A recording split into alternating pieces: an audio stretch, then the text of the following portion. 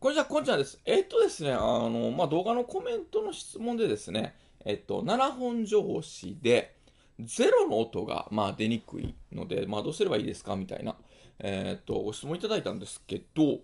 えっとですね、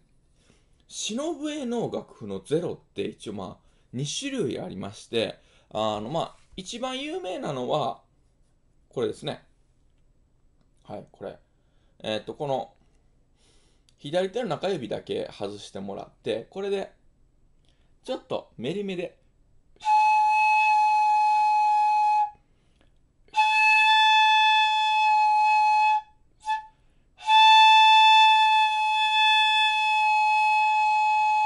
吹くと、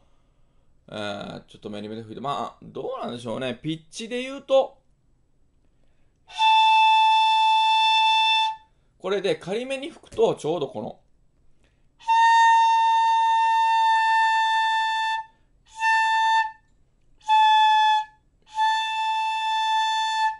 と、7本上司で言うと、ラの音。8本上司で言うと、シフラの音になるっていう、この、とか、だからこれの、これの替え指ですね。これの替え指。で、ちょっと仮で。っていう音か、もしくはこの0の下に、まあ、表記いろいろあると思うんですけど、0の下にちょっとポッチョン、下のポッチョンつけることによって、この、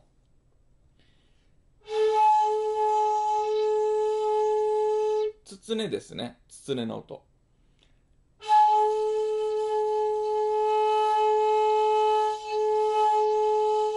ね。で、どっちの音かにもよるんですけど、どうなんでしょうね。えーっと、こっちに関して言えば、もう別に、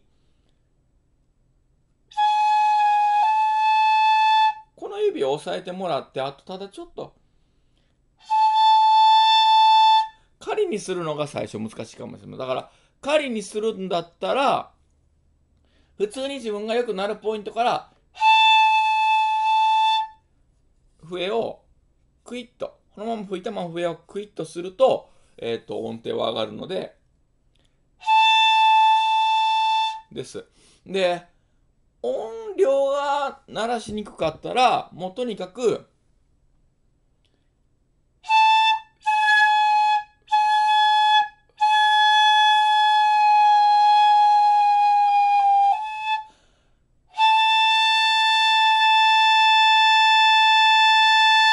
まあ、ある程度の音量をまあ保ったまままあ吹き続ける訓練ですね。だから、まあ、いつも言ってるように、この、例えば、この音だったら、この音とまあ近い音。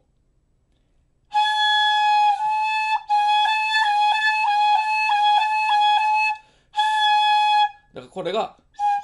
とかだったら、もうちょっと、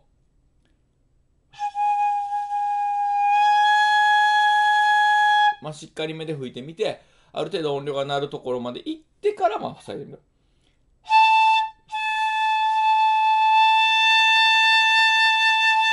で、ここを、クイってなるんですけど、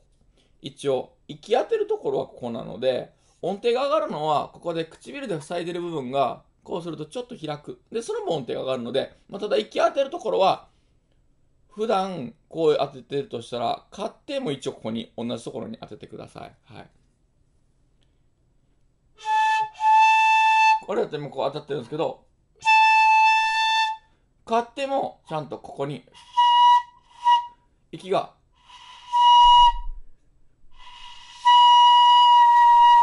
みたいな感じで、息のビームを普段こう言ってるんだったら、こう、こう、こう、こう、まああの、自分で自由自在に当てられるようになると別に、みたいな形で、えー仮メリもスムーズにできると思います。基本的にメルンはこっちに傾ける。唇でもこっちに傾ける。カルンは唇でこっち。こっちに行くと音程が基本的に上がって、こっちに行くと基本的に音程が下がるという感じです。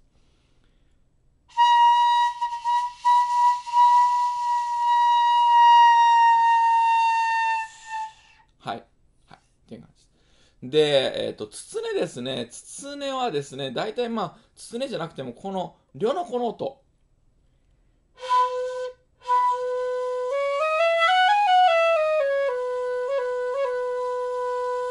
管によってすごくなりやすい、まあ、秀勝管とか立平管とか蘭城管とかそうなんですけど管によってすごくなりやすいのとあとま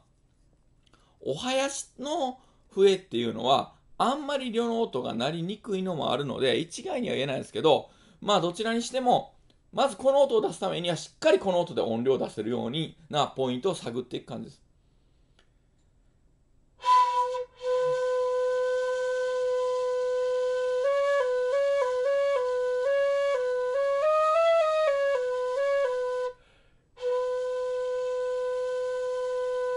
で、探っていって、まあ、ある程度の量出ると思ったら最後、勇気を持って塞ぐ。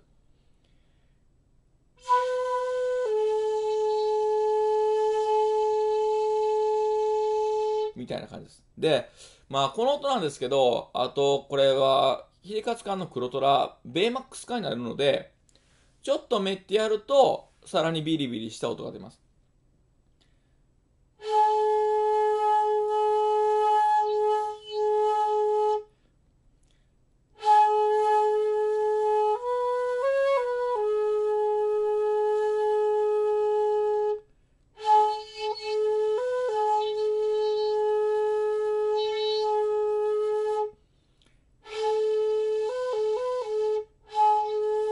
みたいな感じで、まあ、どのぐらい音量いるんですかね、このつつねって。まあ、ほんな使わないですけどね。まあ、ただどうなんでしょう？この、つつねって、村井きと混ぜて、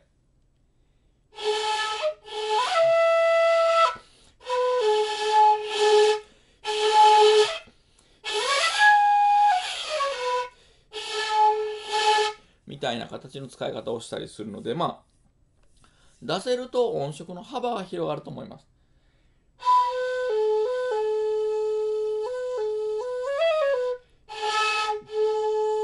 みたいな感じだと思います。はい。まあまあ、多分、ある程度この筒に出そうと思いながら、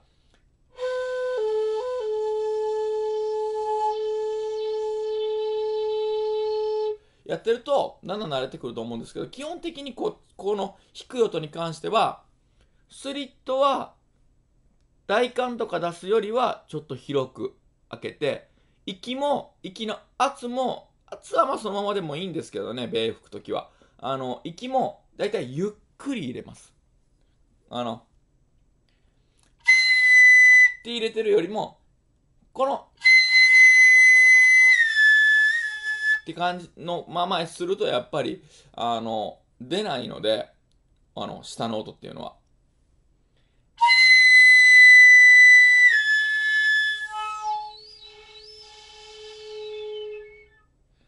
ってするとなりにくいでしょ？そうですこのピーっていう音のまままあこのピーっていう音で閉めれば閉めるほどって感じなんですけどピーっていう音のまま全部塞ぐとこれの大、これのオクターブ上がなっちゃうんですよ。だから、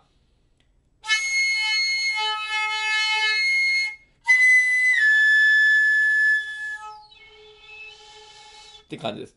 そのまま緩めたとしても、元のこの、にはならないんですよ。これで、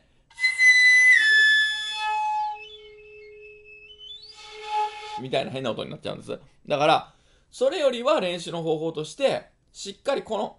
喉を、まあ、開けてってよく言いますけどね、喉を開ける音とか、まあ、この、まあ、どっちみちこの、この音ですね。この、これの前の音、これをしっかり、の方がいいと思います。あの、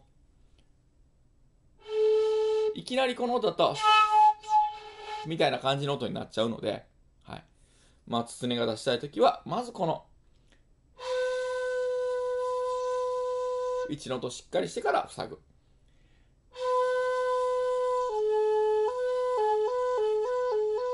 今まあ僕の自分の中で唇操作あんまりしてないです。1の音をしっかり出そうとしか考えてないので、1の音さえしっかり出ればこれ。じゃあ1の音が出ない場合はこの2の音。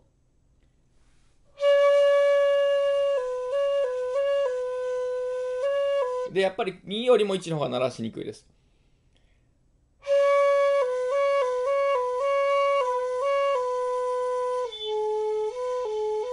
っていう感じなので、で、まあこれも勘によります。うん。すっごく、つねが鳴らしにくいとか、あんまりつねがね、鳴るように作られてない感もあるので、うん、もうお囃子使わないでしょ。おそらく。お囃子はこの音使わないので、とかだとまあ鳴らしにくいかもしれないんですけど、まあ、もしあの、乱情感とか、秀勝感とか、えー、立平感とか、あの、使われてる方はこの辺もしっかりなるように調律されてますので、あもしあれだったら、その辺の感であれば、しっかりなると思います。じゃあ今日はね、こんな感じでね、えっ、ー、と、まあ、ゼロの音ですね。ゼロの音、まあ、2種類、この、が、の、まあ、どっちかわからなかったんですけど、まあ、あの、どっちも、とりあえず解説してみました。はい。ありがとうございます。